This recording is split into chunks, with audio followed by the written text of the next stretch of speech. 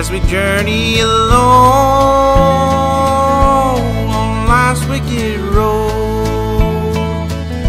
So selfish are we for silver and gold. You can treasure your wealth,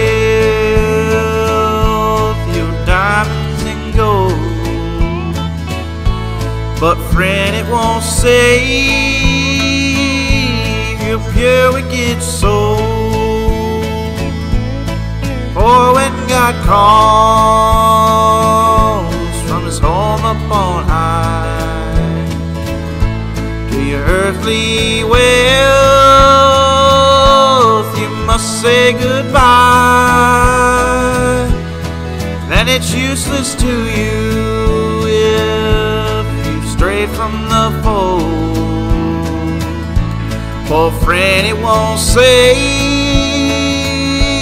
your pure wicked soul.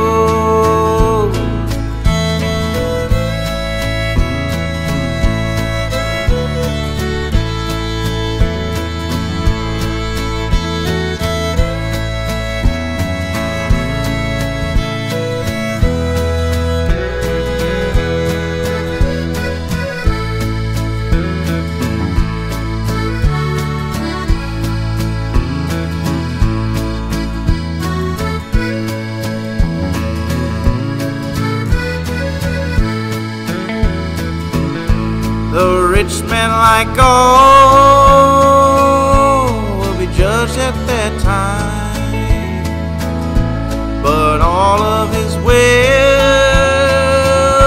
will be left behind. For no matter how